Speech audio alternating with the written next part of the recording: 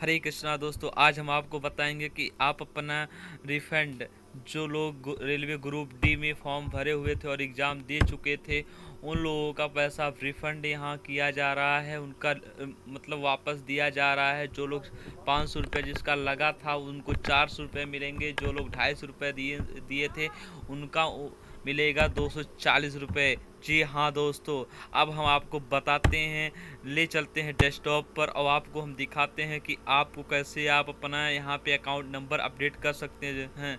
जी हाँ दोस्तों last date है दस चार को। अगर अभी आप अपने अकाउंट का डिटेल्स यहाँ पे आप करेक्शन नहीं किया है अपडेट नहीं किया तो अभी आप तुरंत अपडेट कर लीजिए, नहीं तो आपका पैसा वापस नहीं मिल पाएगा। जी हाँ दोस्तों, ये आपको एक सुनहरा मौका मिला है। जैसा कि आप यहाँ देख पा रहे हैं, यहाँ पे नोटिफिकेशन मिल चुका है और जैसा कि यहाँ पे इसका डेट बढ़ा दिया गया है। दस चार को कर दिया गया है।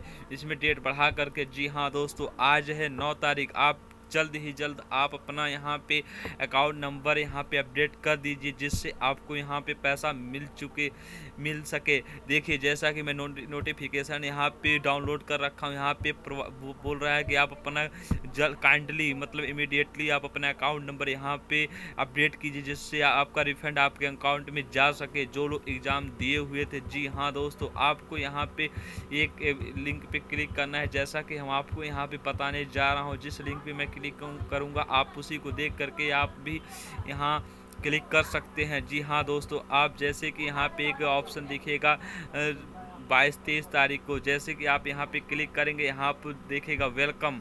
वेलकम, जैसे आप यहाँ पे क्लिक करेंगे, यहाँ पे इसे क्लिक करने के बाद आपको क्या करना होगा, यहाँ पे अकाउंट डिटेल्स करेक्शन पे आपको यहाँ पे क्लिक करना है। जैसे कि आपको न्यू पेज खुला, अकाउंट डिटेल्स करेक्शन पे क्लिक करके यहाँ पे आप जहाँ से जिस बोर्ड से आप एग्ज़ाम दिए हुए थे, वहाँ पे आपको क्लिक करना है। तो हमने गोरखपुर से एग्ज़ाम दिया था यहाँ पे आपको क्या मांगेगा? जैसे नेट कैफ़े से अगर आप यहाँ पे किए होंगे रिप्लाई अप्लाई तो वहाँ पे उसका जो अकाउंट नंबर कैफ़े वाला दिया होगा तो उसका account number I code show करेगा। उसको आपको क्या करना है? चेंज कर देना है। आपको अपना यहाँ अकाउंट नंबर फिलअप करके उसको क्या करना है? कन्फर्म सबमिट कर देना है। जैसे आप सबमिट करेंगे यहाँ पे आपको दिखाई देगा कि, कि आपका सक्सेसफुल्ली यहाँ पे सबमिट हो चुका है करेक्शन हो चुका है।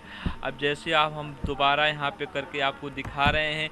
जैसे इसमें यहाँ मैं यहाँ पे कैप्चर फिलअप कर रहा हूँ। फिलअप करने के बाद जैसे ही मैं लॉगिन करूँगा यहाँ पे कुछ इंटरफेस ऐसा दिखेगा। जस्ट ऑलरेडी अलर्ट इंफॉर्मेशन में you have already modify your bank details मतलब आपने अपना मॉडिफाई पहले कर लिया है।